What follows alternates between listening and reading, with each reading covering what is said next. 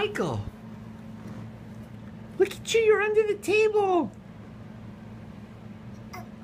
You're like, whoa, look, you can go under the table. This is really cool. I'm glad Mom... But now I don't know what to do. I'm kind of stuck here. I can't go up. I can't go sideways. This is a disaster. What are you trying to get? Are you trying to get to your book? Want to see? Want to read your book under the table? Girl, boy.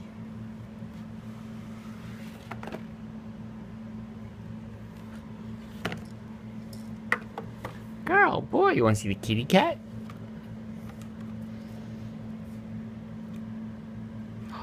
Where's the kitty cat?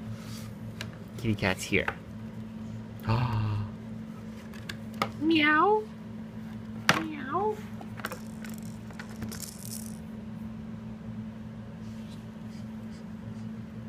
Where are you going now?